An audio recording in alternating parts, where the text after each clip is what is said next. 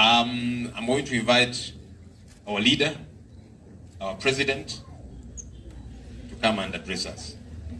You're welcome, Mr. President.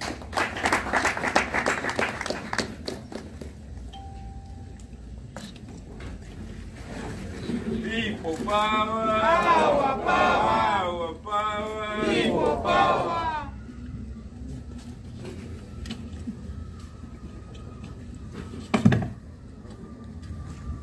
Thank you very much, Comrade Joy. Uh, people power. Our power. NUP. Everywhere. Please take your seats, ladies and gentlemen. Uh, first, I want to thank you, members of the press, for always responding to our call to such a factor in magnifying our voices and making sure the world gets to know what is happening in Uganda in real time. We don't take you for granted, friends, because we know you do your job under tough circumstances. Um, I also want to thank uh, Comrade Goretti for giving us such a, a, a good, warm, warming prayer, and to remind all of us that we are all Ugandans. But again, we all belong to different ethnicities. We salute all of them. And it's important that we learn all the anthems. We are the National Unity Platform, and we should be seen to reflect every ethnicity. We should be seen to embrace every ethnicity. So I want to call upon all leaders and all members.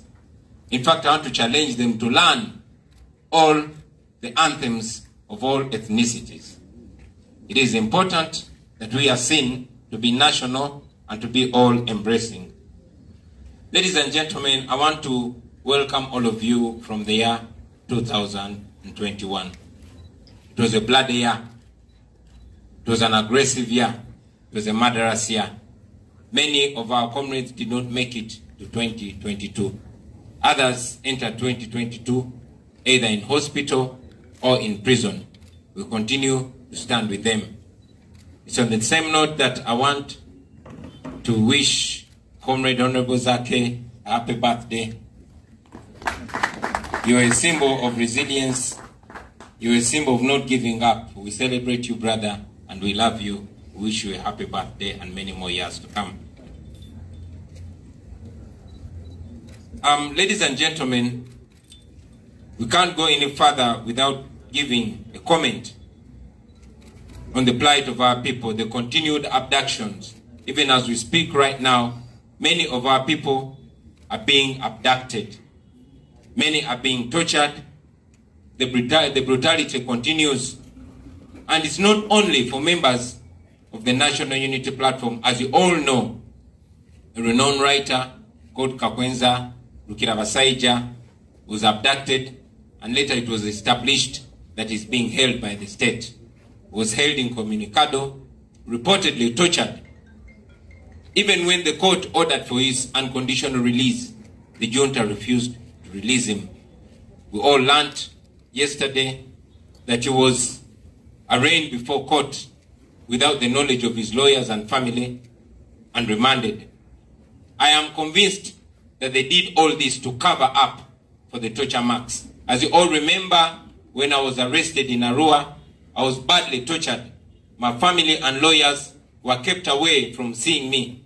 They injected me with all manner of steroids to ensure that the swelling goes down, to ensure that they kind of cover up for the torture that they had inflicted on me.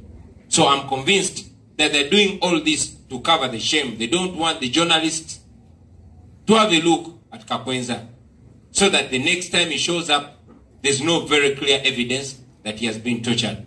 This is the same thing that has been done to comrades like Karanzi, who was beaten so badly and dropped into Chitalia like many others. We continue to stand with him.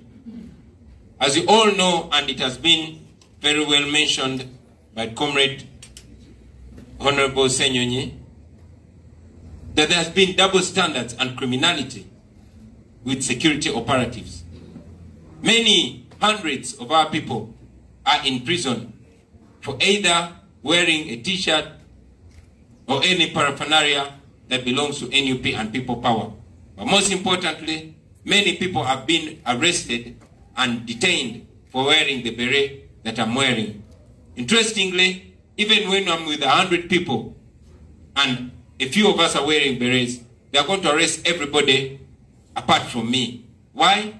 Because they think that you are focusing more on me or the outstanding leaders and not the common people. We challenge them to arrest us and take us to court because they know that I wear this beret. They know that members of parliament wear this beret. They see us wearing it. But they cannot arrest us because they will not convict us because there is no law that bars us from wearing this beret. It is not theirs. And Honorable Ssenyonyi has eloquently challenged them to wear the beret if it is indeed theirs. Ladies and gentlemen, I want to mention something very important that is happening in our nation. Besides the stolen election and besides the shameless altering of the will of the people of Kayunga, where you all saw that all declaration forms were present and it was clear that Museveni, even after keeping me under house arrest, was resoundingly defeated. They altered the voice of the people and they announced a different candidate. This was supposed to be the lowest level of shamelessness. But as we always mention, Museveni has a bottomless pit that he descends in of shamelessness. You all have heard the new proposal to take away the power of the people from electing their leader. Friends, it all begins like a joke. It all begins like a rumor. I want to take you back a little. When Museveni took over our country by force of arms, having lied to our people and conned them, he promised that they will rule for only four years and thereafter return power to a civilian government. Our people trusted them. But in 1989, Museveni, using the NRC that he had controlled, just like he controls the parliament today, they again extended their mandate. They extended their rule for five more years without the mandate of the people of Uganda. Because we had just emerged from war, our people had not clearly understood the hypocrite, the liar, and the conman that Museveni is. Accepted. And it went on like that. But I'll tell you that every time Museveni and his team are planning to do something evil like that, they make sure that all voices of reason are eliminated. It is therefore raising questions why voices like Andrew Takome Kayiira had to be eliminated by gunshots before that evil move. That was just the beginning, ladies and gentlemen. In 1995, a constitution was promulgated. This is a constitution that was supposed to be durable. It's a constitution that was supposed to be superior. It's a constitution that every Ugandan was supposed to be under. But like all of you now realize, this is a constitution that Museveni never believed in. Every time the constitution bars Museveni from achieving or pursuing his selfish ends, he tears out the page that blocks him. In 2005, all of you remember that Museveni, using bribe and intimidation, had term limits removed from our constitution. And yes, you remember that many voices of reason died in the years preceding 2005. That was the first break.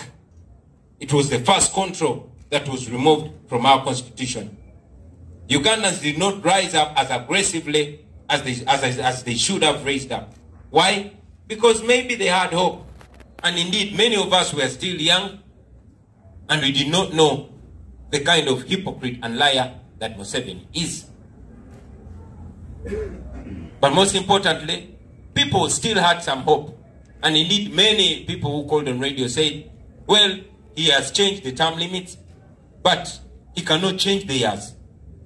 People did not know how shameless Museveni can be.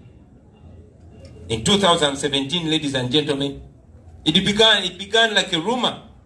And indeed, Museveni himself dismissed it and said those are nothing doers that are mentioning change of the constitution. Museveni is quoted on TV having said that a leader cannot be mentally sound after the age of 75. And he is quoted having been in, interviewed by Jeff Koinange. He said, certainly not. I will not be president after the age of 75. Right now, we know that Museveni and his word are not to be trusted. In 2017, as many of you remember, Parliament was raided by the military commanded by his son. Members of Parliament were brutalized. Soldiers came in the chamber and took the Parliament under siege. And still using bribe and intimidation, the Constitution was raped. The second break was removed from the Constitution. Museveni had his way of making himself president for life. The age limit was removed from our constitution. And Museveni once again made himself eligible to stand for president. That provoked many Ugandans. And indeed,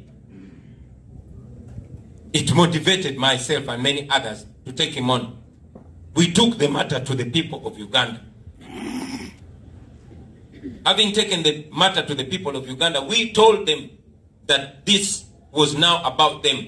We told them they did not have hope in the parliament and neither did they have hope in the courts of law.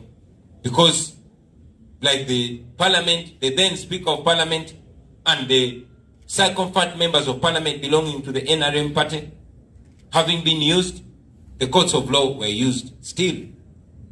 And that evil scheme was legitimized. We went to the polls. We called upon the people of Uganda. They responded massively and they voted Museveni out. I repeat, they voted Museveni out. But because Museveni, just like he does not respect the constitution or the law, does not respect the people of Uganda because the people of Uganda has no, have not yet asserted themselves the way they should assert themselves. So, having been defeated, Museveni did what he does best. Switched off the internet, took over the media, and intensified abductions. And yet again, Museveni imposed himself on the people of Uganda. Ladies and gentlemen, many people thought that's the lowest that Museveni can go. But like I told you, the pit of shame that Museveni goes into every minute, every day, is bottomless.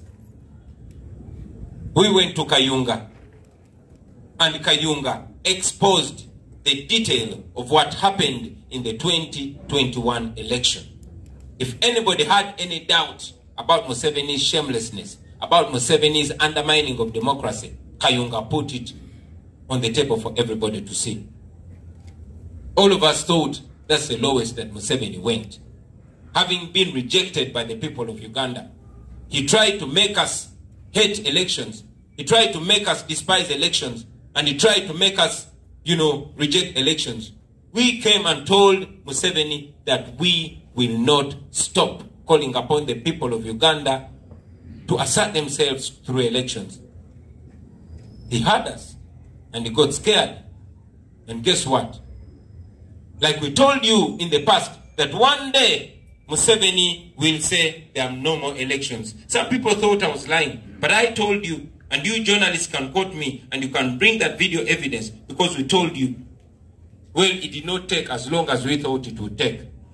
Now, all of you have heard that Museveni and his ilk are moving to take away the power of the people of Uganda and their mandate to elect their president. You all know, ladies and gentlemen, that no position of leadership matters in Uganda for as long as Museveni is in power. And all of you know that Museveni is rejected and was rejected long ago by the people of Uganda. He used COVID to hide that, but the people asserted themselves. And now, he cannot take the shame anymore. Because he knows that even if he uses the military and other machinations to impose himself on the people of Uganda, the international community watches him. He got out of the 2021 election bruised. The whole world saw Museveni for the military dictator that he is, and he cannot take that anymore. And that is why he wants to scrap elections. Ladies and gentlemen, I want to remind you, Ugandans from every corner of Uganda and from all over the world, that this is the last opportunity that you have. I told you in 2017 that you need to rise up and defend the Constitution before the Constitution is too weak to defend you. The Constitution has been demoralized, it has been raped and defiled numerous times. Now it is upon the people of Uganda. So it is now that I want to call upon all of you, the people of Uganda. We cannot leave this to only the members of parliament. We cannot only leave this to the mayors or the elected leaders. It is everybody's responsibility, ladies and gentlemen.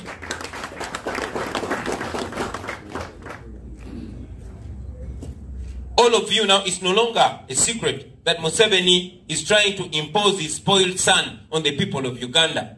And it is clear to him that the people of Uganda have rejected him and his spoiled son. It is clear that they stand no chance in a democratic election. But because he has always been using the parliament, which he bribes and intimidates, and there are fewer people, he wants to take that to the parliament. I'm telling you today that will not work. I'm telling you, Mr. Museveni, that will not work. The people of Uganda, as per the constitution, no matter how many times you've abrogated it, the people of Uganda still have the power over their destiny. And the power that you're trying to take away from the people will not be as easy as you think it will be. But again, ladies and gentlemen, we are not only going to talk about this. We can only remind you, we can only open your eyes. But remember that this is your country. Slowly by slowly, you are being enslaved in your own country. Just like you open your eyes to the realities from 2017 to 2021, I'm calling upon all of you, ladies and gentlemen, to take this upon yourselves. Whether you are MP or mayor or councillor, whether you're ordinary citizen, whether you're farmer, student, young or old, rich or poor, this is about you. Nobody is safe in a dictatorship.